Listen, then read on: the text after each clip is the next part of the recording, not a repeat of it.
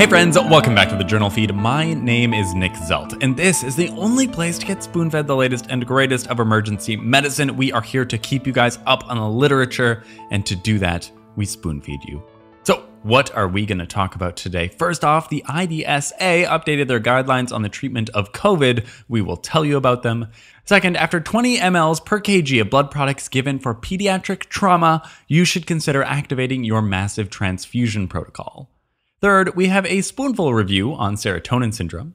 Fourth, careful when you give fluoroquinolones for a UTI. Resistant rates are as high as 20% across the US.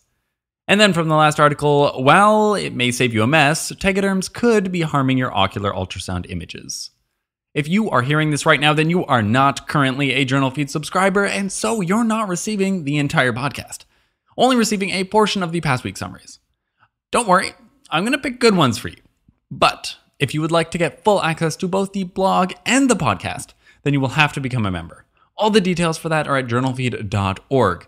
And just so you know, if money's a barrier for you, just reach out and we'll help out.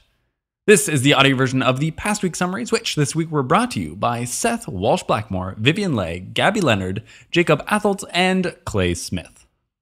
Okay, we're going to jump over to the second article titled Recognizing Life Threatening Bleeding in Pediatric Trauma, a Standard for When to Activate Massive Transfusion Protocol, out of the Journal of Trauma and Acute Care Surgery.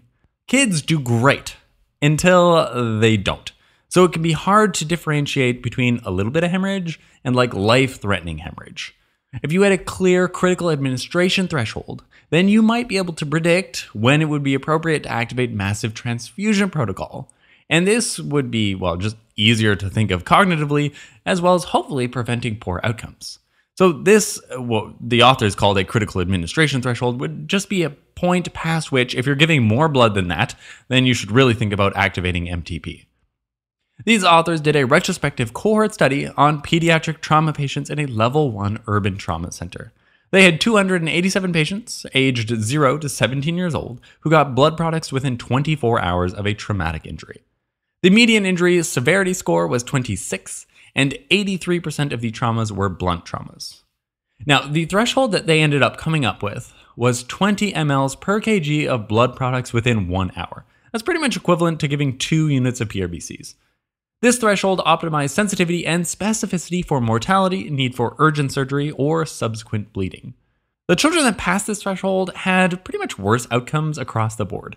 Even after multivariate regression to control for injury severity score, age, GCS, and hypotension, they still had a 3.4 fold higher risk of mortality. So these authors propose that the critical administration threshold could be 20 mLs per kg of blood products. Hopefully, they will, uh, you know, validate this prospectively as well. In a spoonful, in the first hour of pediatric resuscitation, if you're giving more than 20 mLs per kg of blood products, then these patients are at increased risk of mortality, interventions, and additional bleeding. This would be a good cutoff to really start considering MTP. And then we jump over to the fifth article, titled Covered or Uncovered, a randomized control trial of Tegaderm versus no Tegaderm for ocular ultrasound out of the American Journal of Emergency Medicine. I love doing ocular ultrasounds, they're so satisfying. Plus, aren't eyes cool? Like, I like eyes. I, I think they're really neat. Now, as with any ultrasound technique, can't have too much gel. To make that easier on our patients, though, we tend to cover people's eyes with a tegaderm when doing an ocular ultrasound, you know, just to keep the eye shut, make the patient a little bit more comfortable, and to hasten up the cleaning process. This adds an extra layer, though. Are we doing harm to our imaging? These authors got together 90 patients with headache or vision loss and had both their eyes imaged by an ultrasound fellow. One eye covered by a tegaderm and one eye with no tegaderm, just straight gel. The images were stored and later interpreted by a blinded ultrasound fellowship trained physician on a five point scale of diagnostic acceptability and overall image quality.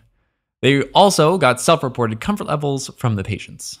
Overall, the image quality was poorer with the Tegaderm, 3.4 versus 4.3 on the 5 point scale. And accordingly, there was also kind of a lower um, percentage that met the threshold for diagnostic acceptability 82 versus 98%. That said, 91% of these patients were complaining of headaches. And no diagnoses were ever discussed in the paper.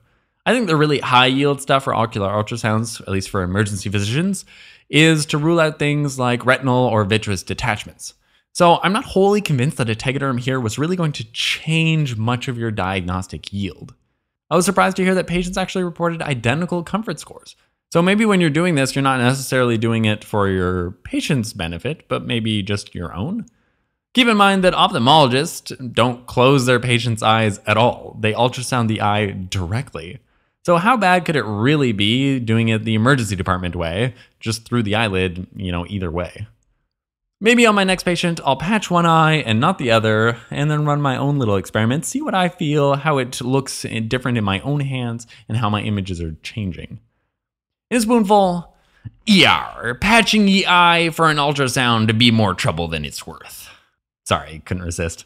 All right, let's do the wrap up. What did we learn today? Second, a good time to call for pediatric MTP might be after 20 mLs per kg of blood products. These patients are particularly at risk. And then from the last article, patching the eye with a tegaderm prior to doing an ocular ultrasound reduced image quality without improving patient comfort. Could be a waste of plastic.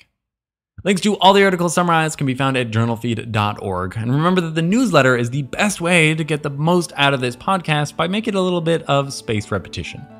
Now, if you feel like you're missing out, you want to hear more podcasts, then come over and join us at the members feed. Our goal here is to provide better patient care through spoon feeding. And so we're trying to help you keep up with the latest research, one spoonful at a time.